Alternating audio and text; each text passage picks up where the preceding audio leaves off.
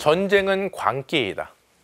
지난 3일 바티칸 일반 아련에서 프란스크 교황은 전쟁과 폭력으로 고통받는 전 세계에 평화를 호소하며 이같이 말했습니다. 지난달 24일 교황은 무기는 평화를 가져오지 못한다며 평화를 호소했습니다. 여러 차례 한반도를 비롯한 전 세계에 평화를 바라셨던 교황은 새 첫 일성으로 평화를 이야기하고 있습니다. 하지만 평화를 향한 교황의 간청에도 불구하고 한반도를 비롯한 동아시아의 정세는 점점 긴장 상태에 접어들고 있습니다.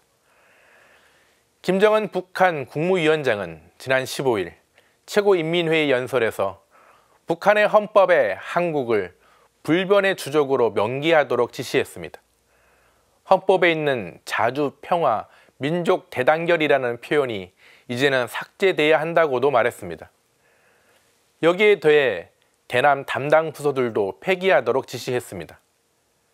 지난해 말 남북 관계를 적대적인 두 국가 관계라고 선언하고 만약 전쟁이 일어나면 한반도를 초토화시키겠다고 말한 이후 김 위원장의 입은 계속 거칠어지고 있습니다.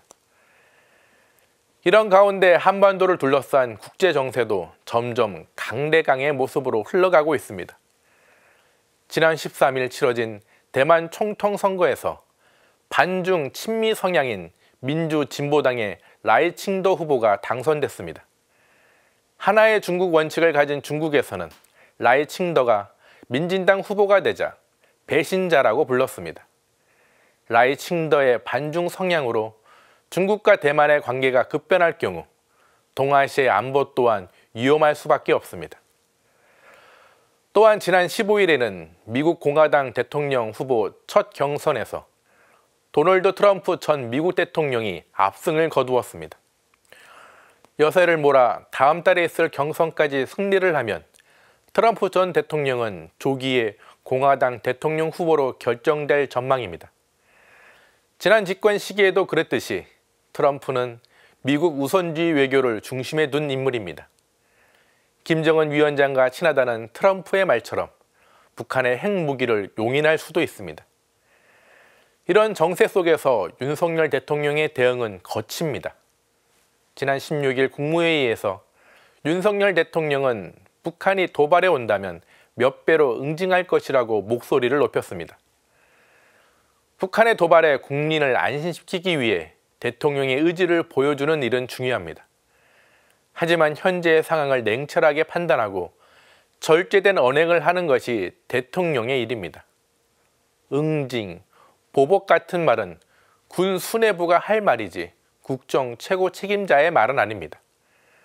매번 대통령이 나서 이런 식으로 북한의 말폭탄에 대응할 수도 없는 노릇입니다. 이와 함께 보수 일각에서는 전쟁에 대비해 우리도 핵무기를 가져야 한다고 이야기합니다. 하지만 우리는 한반도의 평화와 비핵화를 포기할 수 없습니다. 한반도 비핵화를 포기하는 순간 일본을 비롯한 동아시아 전체가 핵 전쟁의 공포에 빠져버립니다. 핵 전쟁의 공포에 기초한 평화는 한반도의 참된 평화가 될 수 없습니다. 우리의 목표는 한반도의 진정한 평화입니다. 오늘 사제 눈 제목은 김정은, 트럼프, 그리고 한반도의 평화입니다. 한반도를 비롯한 전 세계에 참된 평화가 찾아오길 바라며 오늘도 평화를 빕니다.